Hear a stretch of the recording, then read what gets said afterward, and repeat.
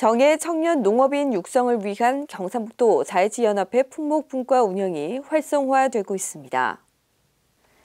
기술원에서 지난해부터 운영하고 있는 품목분과는 지속가능한 농업 농촌을 이끌어갈 정예 청년 농업인을 육성하기 위해 경북 지역에 적합한 사과, 스마트팜, 드론 연구 등 13개 품목분과를 구성해 운영하고 있는 자율학습 모임입니다.